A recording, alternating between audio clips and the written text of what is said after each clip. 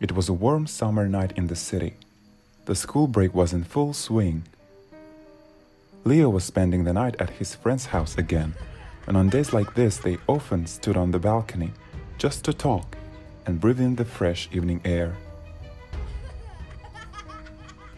Fortunately, he could access the balcony from the bedroom.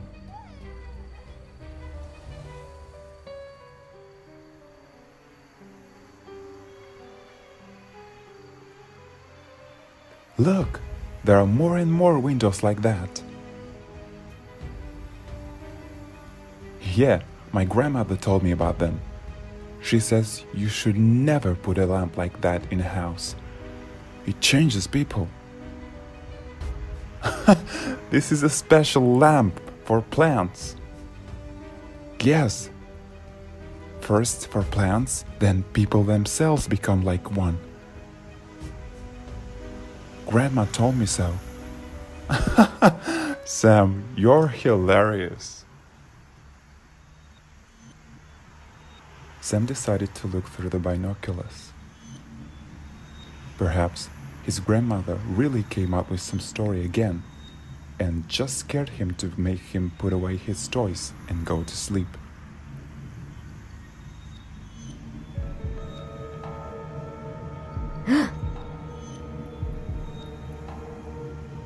Sam was really frightened. He threw the binoculars on the floor and ran into the apartment, loudly closing the balcony door. Who was it? Maybe his grandmother was right, or it was just a fantasy. Leo thought that Sam must be tired because he was two years younger than him, so he did not believe his words and just offered going to sleep. A couple of weeks later, Sam looked in on his friend to pick up a book. It was getting late outside. Leo opened the door. He looked quite tired and sleepless. Where have you been? You promised me to bring the book back 10 days ago. Come in. Come into my room. I have something to tell you. Sam went into the hall and immediately felt a strange smell in the apartment as if it had not been aired for many days. The air was stale and the apartment was half dark.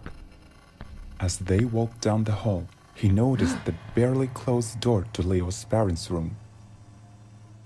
Sam kept following his friend on some kind of automatic level.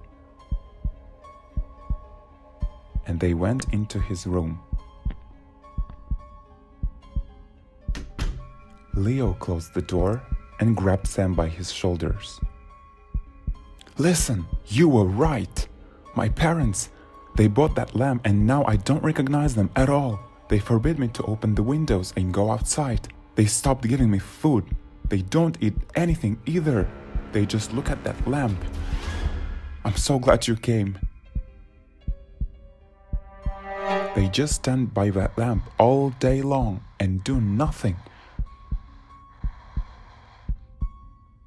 Then the door to the room moved.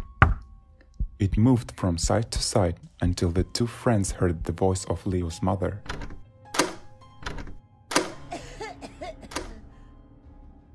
Leo, darling, why have you closed the door? Have someone came to see you? Hide here. Sam laid under the bed and was afraid to move. He held his breath and waited for what would happen next. Leo's mother came into the room. Her legs were pale and thin. He heard what they were saying. Don't lock yourself away from us. We love you. I thought someone had come to see you. We got worried. No, no, I'm fine. I'm going to sleep now. Yeah, sure, to sleep. Oh, Leo, we have a surprise for you. Surprise? Honey, show him. He switched on the light in the room. It was bright purple. Sam's heart was ready to jump out of his chest. He was lying there, trying to breathe as quietly as possible. Who do we have here?